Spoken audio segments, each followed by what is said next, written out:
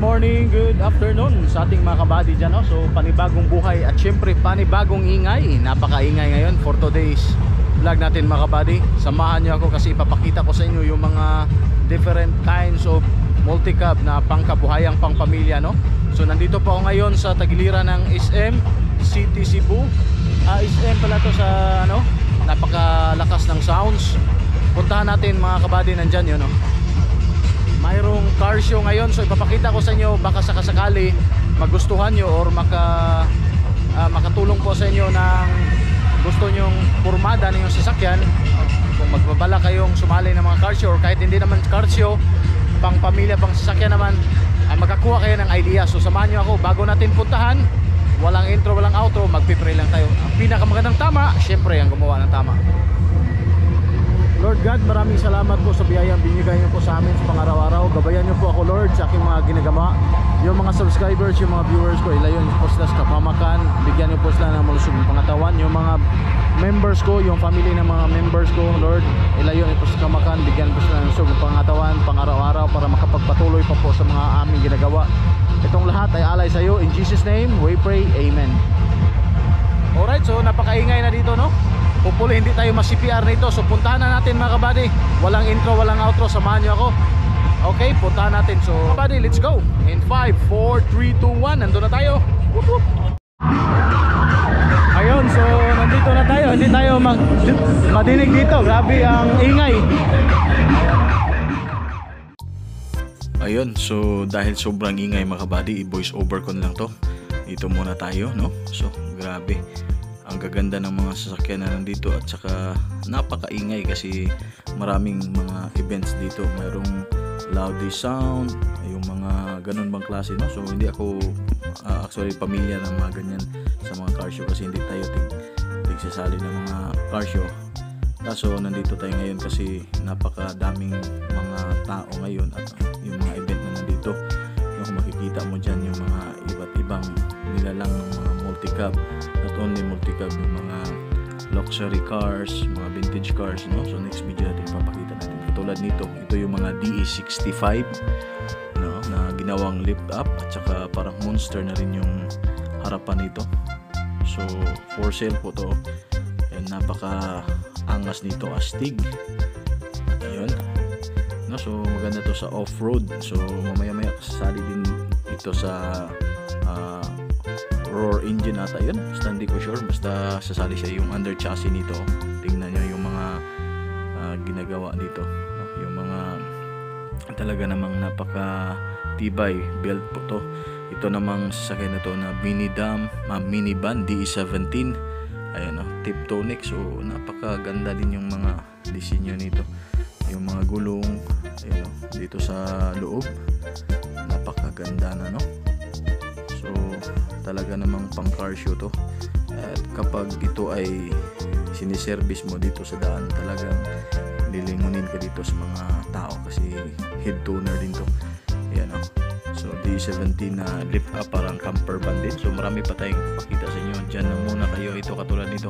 This is scrum type no? So this is carburetor type. Ganitong mukha cat eye mayroon siyang fog lamp pero nilagyan pa nila ng extra fog lamp. So dito naman tayo sa kabila din. Tapos ang ganda ng mags pala dito sa scrum up.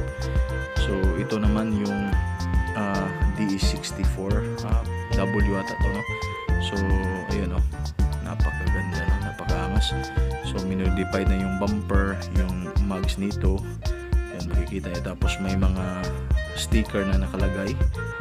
So hindi naman medyo pangitingnan yung mga sticker bagay sa kanya. Tapos ito yung dito sa likuran niya inspired high ace na taillight ayan o tapos may spoiler.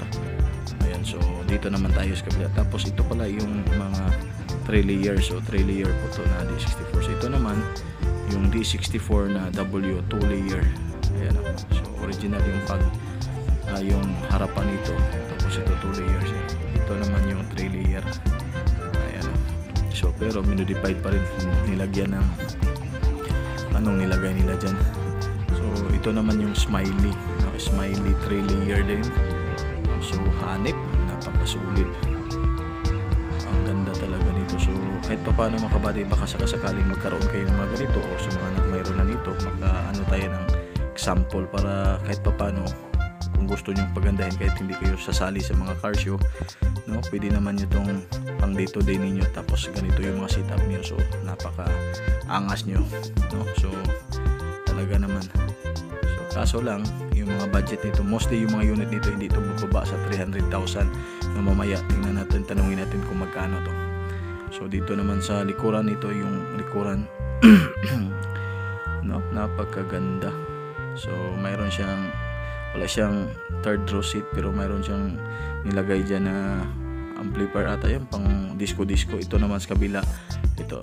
So ito din iba din yung taillight niya. Tapos ito yung mga upuan na pwede mong maupuan at malagyan ng kung ano-ano yung ilalagay mo dyan. Ayun so pagdating dito sa loob oh, napaka-elegante na na yung design dito. Tsaka talaga namang maaliwalas no? Fresh na fresh kapag parang ano ka dito ah, parang ayaw mo tong sasakyan kasi baka madumihan. Sobrang ganda at sa sobrang linis no? Ayun so ito pa yung mukha din dito.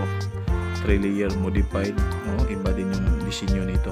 So iba-iba yung mga design nandito mga kabady so ito din yung D64 no na 3 layer ito so walang iniba pero yung ano nito loob napakaganda oh, VIP ang datingan di ba?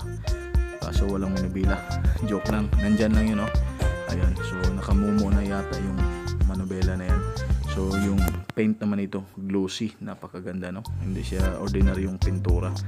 So ganito. Tapos sliding door. Yon so captain seat.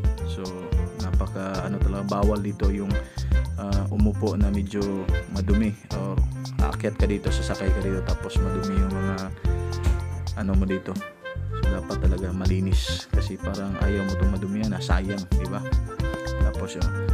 Ayun so napakaganda. Ang dami nating ano dito so ayun mga kabady no? So ang daming mga sasakyan na nandito no, mga multicab na napaka formado na. So baka sakasakaling magustuhan nyo yung mga forma nyo. Kahit pang pamilya lang no? Kung hindi pang car show motor show pero napakadami ngayon. So panoorin itong episodes na to. Dami yung mga sasakyan no yun no mga mayroon din ditong mga luxury car mayroon din dito mga vintage car so iba-iba. So as of now tingnan muna natin yung multicab. Sa Seaside Cebu. I am your certified B2B babes Phoebe Go, representing SP2S Faith. And I'm happy to be back here in Cebu, here at the concert grounds of SM Seaside Cebu, we feature all the hot cars, hot rigs, and hot babes from all over the Philippines. Bumper to Bumper Car Show Cebu is powered by Moto Philippines by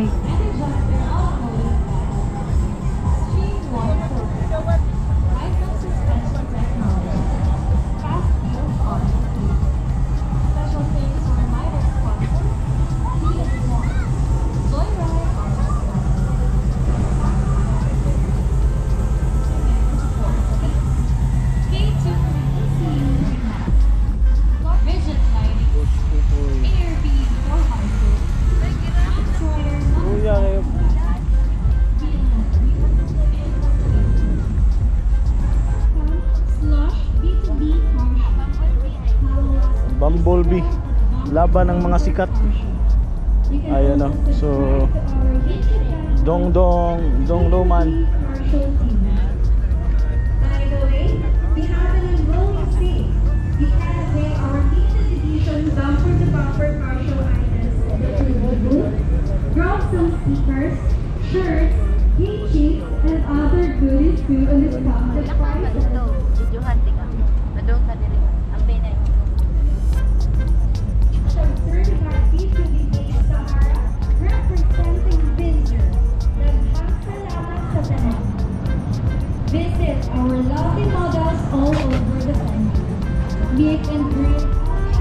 9 p.m.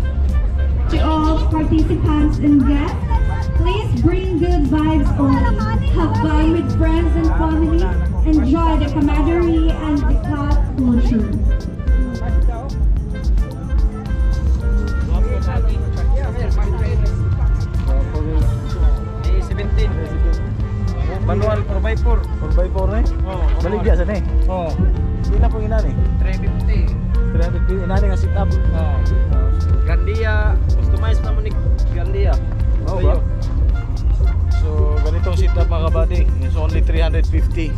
D17B. po- Manual ano?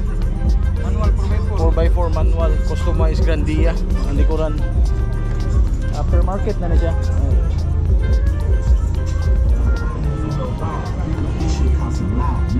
Insi ni. 16. Busy size. Di na masangko. Dili. Tayo na. For those who wants to take a picture with our certified B2B babes, they are located Manual vibes. Aircon. Stage. 350 only. Yeah, just proceed to the photo wall. Nandito lang sila sa may harap ng main stage. Manual niya 4x4. ako. Wala naman 350. bayad. Ganitong sit up.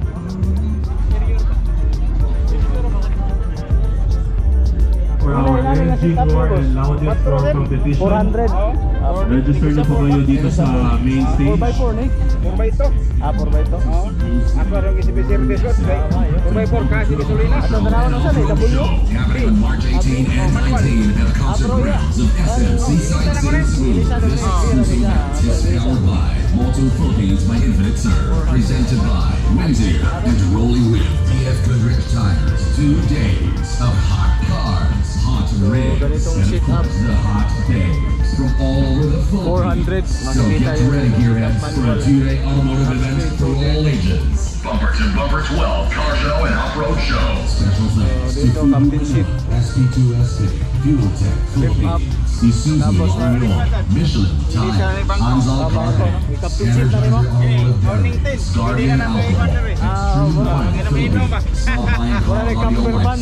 Roadstock, Subaru, Fast Wheels Car Auto Trading, Supreme Auto Tint, Estaca, Auto Services, Joyride, Auto Styling, K2 ECU Remount, Primero Sport Seats, DS1, and Youth Edition. For more info, please send a message at Facebook Blue City for a Ah. massive to Bumper 12 Car Show and Off-Road Show happening on March 18 and 19 at concert.